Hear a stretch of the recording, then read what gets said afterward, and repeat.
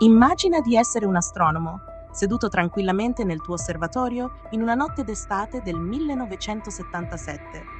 I tuoi occhi scrutano pigramente i dati che scorrono sullo schermo del computer, quando all'improvviso, bam! Qualcosa di straordinario cattura la tua attenzione. Un segnale, forte e chiaro, proveniente dallo spazio profondo, ma non un segnale qualsiasi. Questo è diverso da qualsiasi cosa tu abbia mai visto prima. Questo è esattamente ciò che accadde a Jerry Eman il 15 agosto 1977 all'osservatorio di Big Ear, Ohio.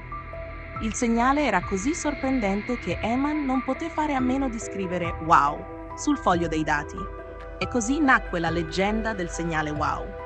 Ma cosa rendeva questo segnale così speciale? E perché, dopo quasi 50 anni, continua a far discutere scienziati appassionati di tutto il mondo? Preparatevi a un viaggio attraverso uno dei più affascinanti misteri dell'astronomia moderna. Un mistero che ci porta a chiederci, siamo davvero soli nell'universo? Il segnale wow non era un semplice rumore di fondo cosmico, era qualcosa di molto più intrigante. Durato per 72 secondi, il segnale aveva una frequenza di 1420 MHz, esattamente la frequenza dell'idrogeno. Ma perché questo è importante? Bene, immaginate di voler comunicare con una civiltà aliena. Quale frequenza scegliereste? Probabilmente una che sia universalmente riconoscibile, giusto? L'idrogeno è l'elemento più abbondante nell'universo e la sua frequenza di risonanza è come un faro cosmico. È la frequenza che molti scienziati ritengono potrebbe essere usata per la comunicazione interstellare. Il segnale era anche incredibilmente potente, 30 volte più forte del rumore di fondo e sembrava provenire dalla direzione della costellazione del Sagittario, vicino al centro della nostra galassia.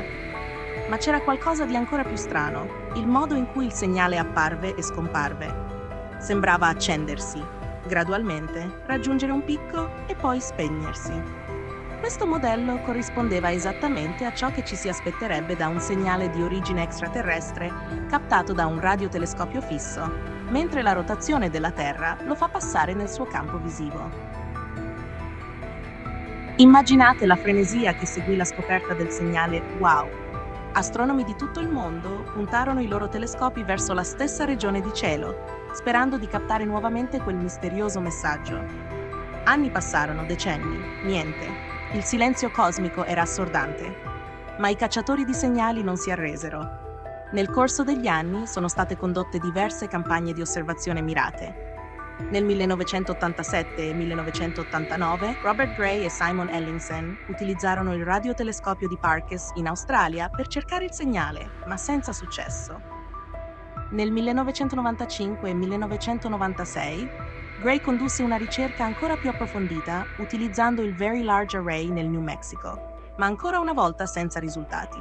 Nel 2016 l'astronomo Antonio Paris propose una nuova teoria. Il segnale poteva essere stato causato da una o due comete passate davanti al telescopio nel 1977. Tuttavia, questa teoria fu rapidamente contestata. Le comete non emettono segnali radio così potenti e concentrati.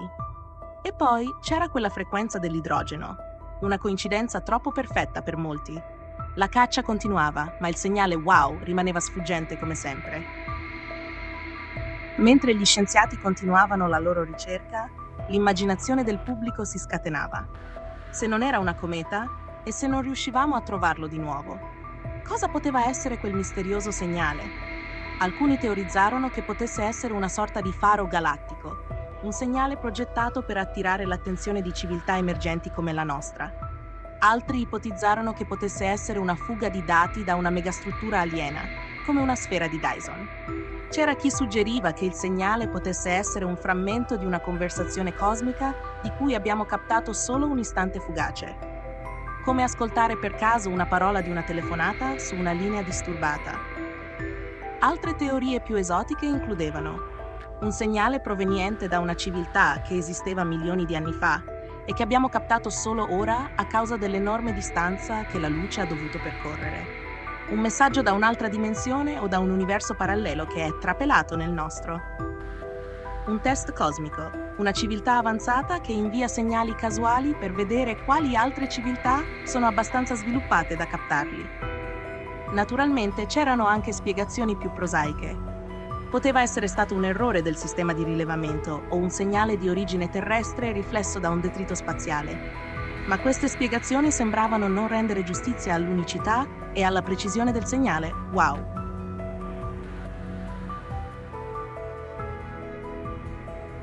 Dopo quasi mezzo secolo, il segnale WOW rimane uno dei più grandi misteri dell'astronomia moderna.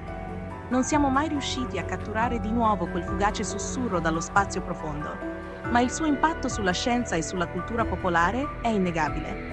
Il segnale wow ha ispirato generazioni di astronomi e ha alimentato la nostra speranza di non essere soli nell'universo.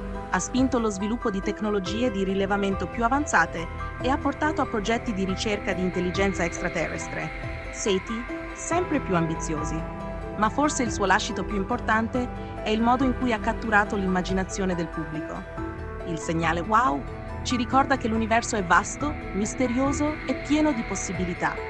Ci spinge a guardare oltre, a fare domande audaci e a cercare risposte alle questioni più grandi dell'esistenza. Che si tratti di un messaggio alieno, di un fenomeno naturale ancora sconosciuto o di qualcosa che va oltre la nostra attuale comprensione, il segnale wow continua a risuonare nella nostra coscienza collettiva. È un promemoria che ci sono ancora grandi misteri da risolvere e che la prossima grande scoperta potrebbe essere proprio dietro l'angolo. La prossima volta che alzerete lo sguardo al cielo notturno, ricordatevi del segnale wow. Chissà, potreste essere voi a captare il prossimo messaggio dalle stelle. Dopotutto, in un universo infinito tutto è possibile.